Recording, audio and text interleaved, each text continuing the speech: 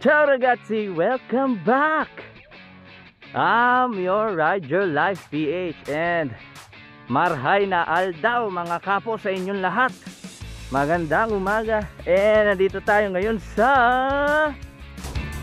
Welcome back mga kapo sa panibagong travel adventure ng Ride Your Life PH. Tara samahan nyo kong ikutin at explore ang mga iba't ibang tourist spots na makikita ninyo sa probinsya ng Legazpi Albay at sa karating probinsya ng Garchi Torena, Camarines Sur.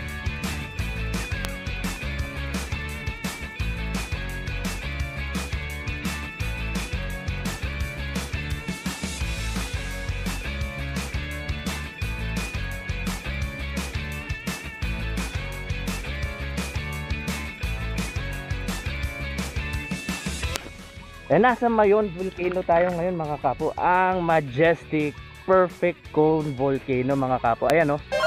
Ito siya. Right in front of us. And ito yung Kaswaga Church, yung tower na malapit sa volcano mga kapo. Ayan oh. Woo! Eh, this is my first time na maka-visit dito sa Albay. So, ito mga kapo ang ruins or mga labi ng Kaswaga Church. So, ayan. So, yan na lang natira yung tower niya. Eh, noong mga unang panahon, no, ah, nung pumutok yung bulkang mayon is pinaniwalaan nila na ito yung safest part. So, so dito sila nagtago, nag-evacuate pero unfortunately kasamang lumubog itong church na to and ito na lang natitirang labi ng simbahang ito ayan o nagpasikat si Mayon eh. kitang kita yung peak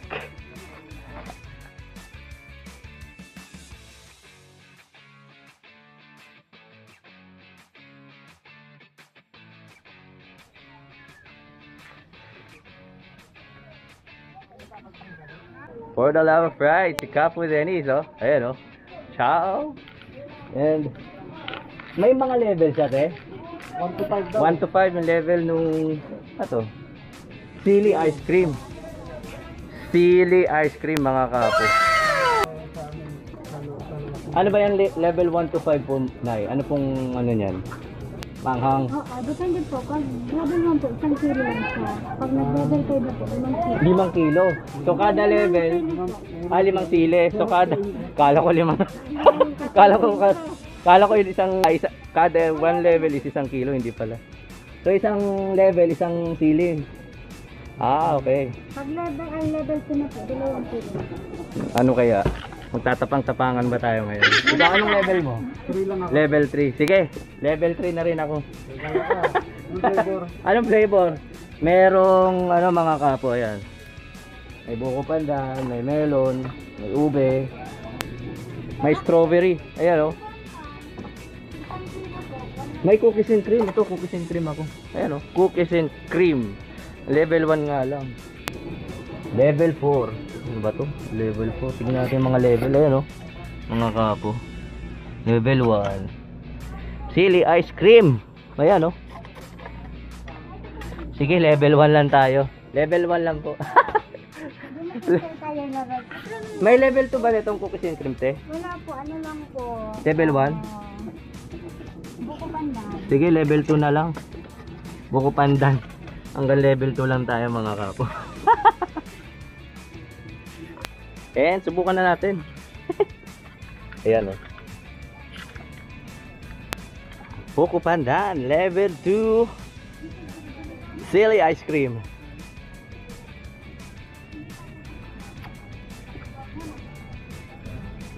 O yun, nandun yung aftertaste. Ah, paano ko ba explain to mga kapo? Ah, matamis siya sa una.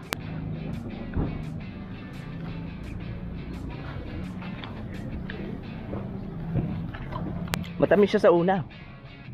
Pero once na nanguya mo na is nandun na yung aftertaste na anghang. Nasa dulo yung anghang. Level 2 pa lang to ah. Siguro kaya natin ng level 3 tsaka level 4. Kasi sabi nila kada isang level, isang sili. So itong ice cream, ah, itong sili ice cream daw is may dalawang sili na ingredients. Nalalasahan ko talagang sili sa dulo.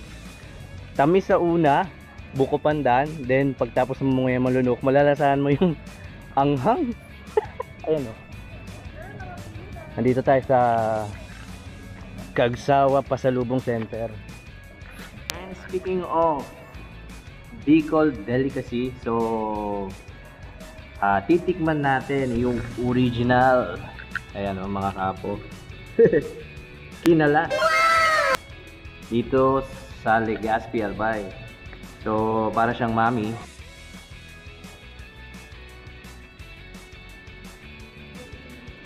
Normal itong kinalas na ah, delicacy ng Albay o dito sa Naga region is ayan, kinalas. Ah, either choice ng ito, tinapay. Ito ngayon pinili natin is donut na may palamang buko pandan flavor. So pwede ka namang mamili kung ah, usually pwede naman siyang egg, pwede siyang ah, toasted siopaw, maruya or ito, pastries. Maganda naman siyang pares mga kapo. Mga kapo, masiramon. Madjana karakan kita mga kapo. Let's go! Mm.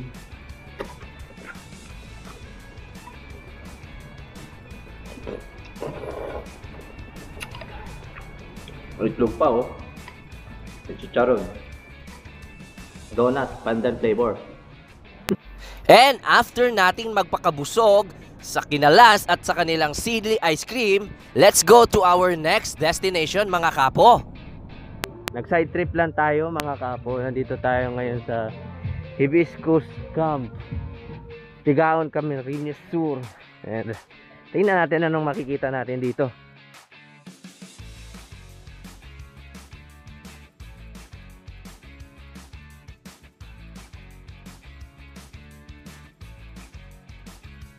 Itong Hibiscus Camp Resort mga kapo, mountain resort is pwede siya pang pamilya, Ah, kung gusto nyo ma-experience mag-swimming while nandito kayo sa may mountain top view mga kapo.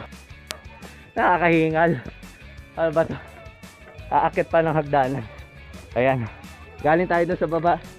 So medyo mataas to elevated itong location ng Hibiscus Camp Mountain Resort ayun. Hinihingal ako. Wait. Ayan galing na yan. Mga ilang steps din. Pagdating nyo sa taas ito yung bubungad sa inyo. Yan o may marmol. May kahoy. Mga mga driftwood. And then pupapasok tayo sa minibar. Overlooking mga kapo. Tatalunin ito ang overlooking dyan sa Tagaytay. And now we are here grabe ang ganda wooden ito at pagkaupo mo dito, mga kapo, yun ang bubugan sa inyo. Ayun ang mayon mga kapo. Kasi ito, bulusan. Yun naman yun, di kita masyado mga kayo mo, kita eh. So overlooking ng ng mayong volcano kasi hindi natin makita. Ganda oh. Oh ha, overlooking. Ah, tatakas muna tayo sa toxic and pressure na nararamdaman natin sa Metro Manila. So, ang the best way para gawin to mga kapo is sit back and relax. Ayan, no? While sitting mga kapo, no? Kita niyo yung tanawin dyan.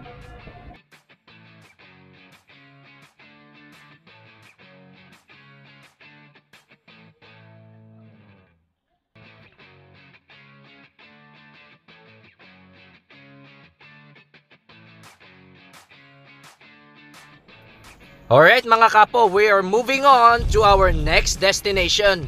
Tara, let's go!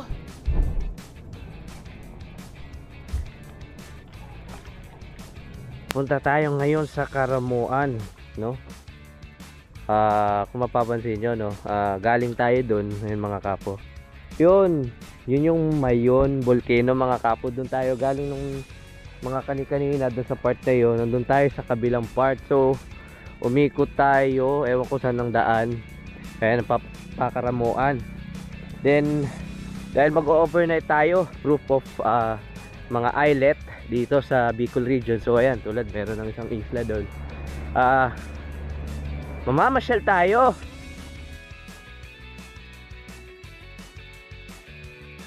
Mula sa Himpapawid ay mapagmamasdan ang mga pakurba-kurbang daanan na natural na makikita dito sa Bicolandia mga kapo.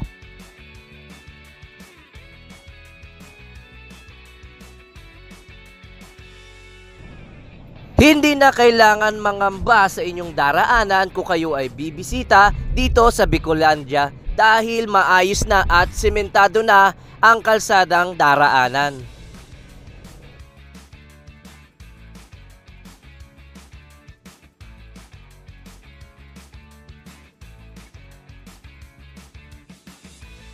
Yung mahihilig bumangking. Ayan, magsawa kayo dito sa Karamuan.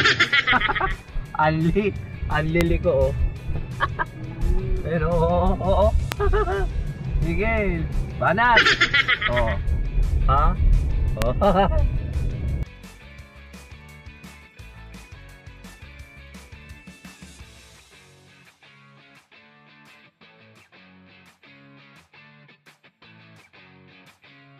Makikita sa probinsya ng Camarines Sur na patuloy pa rin ang pagkonstruksyon sa mga barangay at daanan upang makapagbigay ng ginhawa at daanan sa mga motoristang nais bumisita sa kanilang probinsya.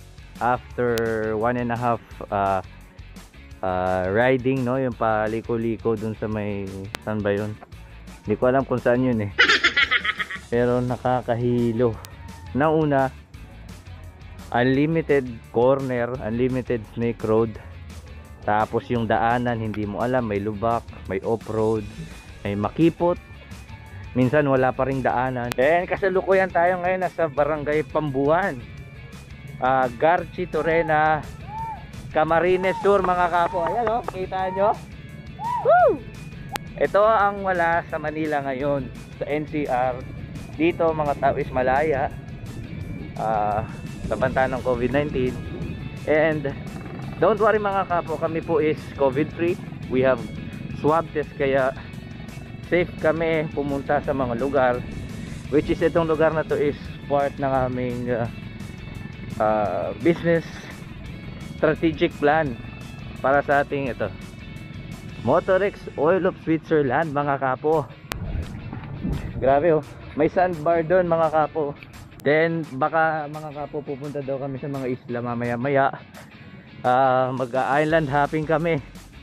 And tulad nga ng nabanggit ko kanina mga kapo is galing tayo sa may kabilang coastal ah, part ng ah, Legazpi Albay, ah, doon yun sa may Mayon Volcano.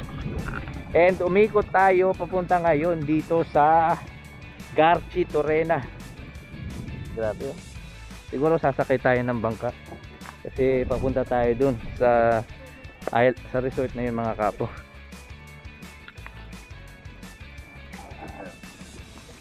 Ayan mga kapo, papunta na tayo doon. Ayan, kaway naman kasama natin ngayon si Maki Moto Garage. Ayan o. Oh.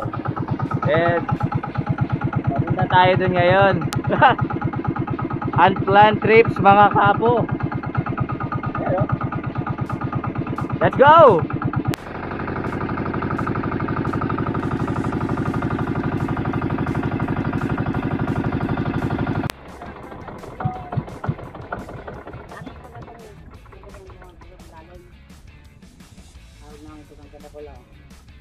kung hindi nyo natatanong mga kapo no ang kaya makikita nyo mula dito ang may-ari ng lupang ito. Walang iba. Papakilala ko na sa inyo si Don Dennis Lopez ito siya oh, Don tatanong lang ho binibenta ho ba yung yung isla na doon yung isla na yun yung isla doon oo Actually, hindi ko binibenta yun, pero pwede kong i-swap. May GSA dyan. Swap, straight. swap Oo. o yan mga kapo sa mga may GS BMW nakikita nyo yung isla na yon Pakiramdam ko, maganda patakbuhin dito yung GS eh. Oh. Buhangin. Very GS. O yan mga kapo. Ha? ano, 850, pwede na. Ayan o. Si Don Dennis. Yan. Sa kanya yan. Sa kanya ang balsa na yan. Ayan, mula dito, pwede siyang magsagwan pa Malila. Ito. Ayan, sa kanya to. Sa kanya to. Ngayon, pag meron siyang... Oo. Meron siyang sariling kapitan dito, pero madalas tinatamad siya. So, dyan lang yan. Maabot hanggang Manila doon. Anong alimango? Ang alim ng Anong naman yan, kuya? ah, tulak ng baka. Ah, Yan. Yan ang baka. Oh, suka. Tapos nilalagay dito. At yan na mamaya pa pag binaton, mayroon na yan. Ano. ayun oh. Taliin dito. Ayun oh. Ah, papasok siya dyan. Oo, sasali dito. Dapat maamoy siya ng crab.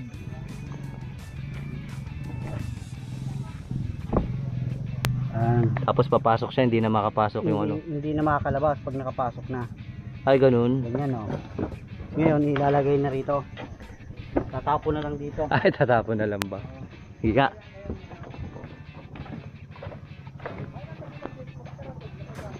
Dito tayo.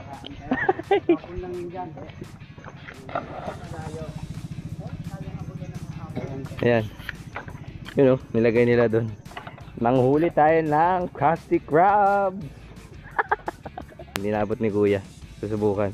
So binato lang yun, iiwan natin mamaya maya. Tapos, tapos pag mamaya maya meron, alam nyo na. Saan mapupunta yung alimango. pag meron tayong nahuli, meron tayong inihaw na alimango. Meron na kaya. Wala. Wala pa, wala pa, wala pa. may bakla daw pong alimango eh. Babae, oh, babae tapos ano, paano, paano ba malaman yun tay? Yan, yan, nahuli na natin yung mga kapo. Bakla yung bakla. Ayo bakla, yan o. bakla yan o. Bakla daw. Oh, malaki ang ano, yung ano niya dito. Ah, bakla. malaki, maliit ang itong tadanya di sa tulak. ah, yun. Sa latandahan. Oo. Yung bakla. Pag sadet, ang ang garupahan niya, pag nakulang pa, bakla. Babae. Oo. Pati ba dito may bakla talaga, no? Ayan, oh. Ayan, oh, mga kapo. Eh. Ano yan. The next day. Good morning mga kapo! And ayan, naglalakad-lakad tayo ngayong umaga dito sa baybayin ng Garchi Torena. Ano yung balsa natin. Ang ganda ng pamumuhay dito mga kapo. Ang tagal ng oras. Malayo sa isipin dyan sa Metro Manila. Nakakapag-isip ka ng maayos. Dahil ito, itong kasama mo dito yung maririnig mo, yung hampas ng alon, tapos yung mga tunog ng bangka, mga ibon, as doon naman sa may gitna, may mga bakawan doon. Tapos sa may gitna rin, doon sa may bakawan, no, meron maliit na fish pond. So, pwede ka manghuli ng isda, bangus. Then, ah, meron din silang ah, alagang mga alimango na pwede mong ah, hulihin tapos kainin. Yun yung kinain namin kagabi. Grabe ang lalaki ng alimango. Yan, ito lang siya mga kapo. Simple lang ang buhay. Diba? 5.30 ng umaga. Ito lang, naglalakad lang tayo sa Dalampasigan. Ganda oh. 15 minutes lang mula doon hanggang dito. Ah, sakay ang ah, ng bangka. So ang bayad doon 5 pesos kada sakay. Tulong na lang din natin 'yan sa mga local fishermen no. And maraming maraming salamat po sa Kabinitan Beach Resort mga kapo dito yan sa Pambuan, Garchi Torena, Camarines Sur mga kapo. Dahil dito tayo nagstay in for free. Then kumain din tayo ng mga alimango no which is hinuli natin kahapon. Then yun yung ginam yun yung kinain nating dinner. Ang sarap ng fresh seafood. Tulad nga na sabi ko there's no such things in this world that can describe free seafood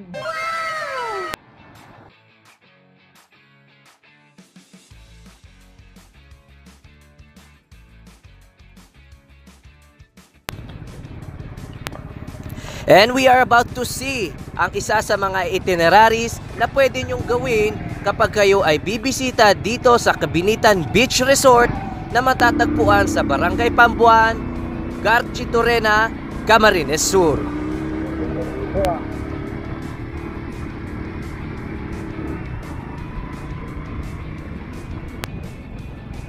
Sakay ng habal-habal mga kapo, tara at ating silipin ang kanilang ipinagmamalaki at maihahan tulad na malabatanes na tanawin mga kapo.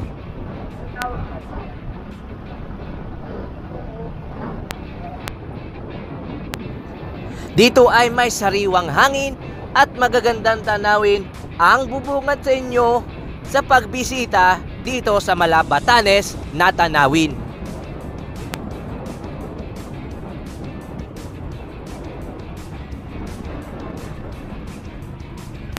Sa halagang 100 pesos mga kapo ay mai-experience nyo na ang kanilang ipinagmamalaki dito sa bayan ng Pambuan, Garchitorena, Camarines Sur.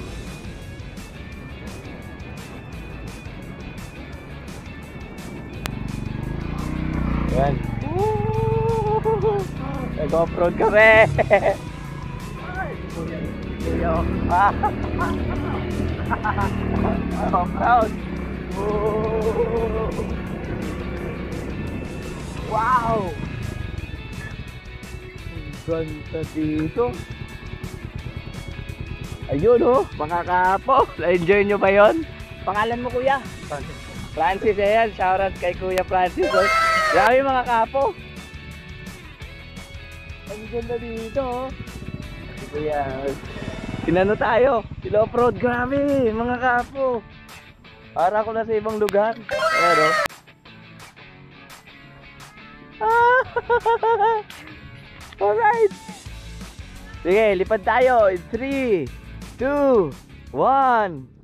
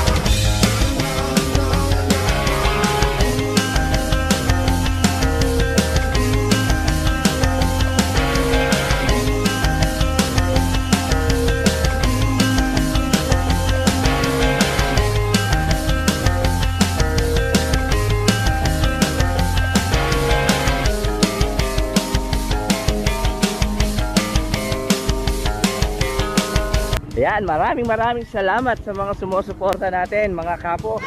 Sa mga sumusunod nating sponsor. Wheeltech, Makimoto Garage, Druid Project, Alex Clothing PH, and Modrex Oil of Switzerland. Ay, well. and hanggang sa muli. Ciao! Ako yan, Thank you.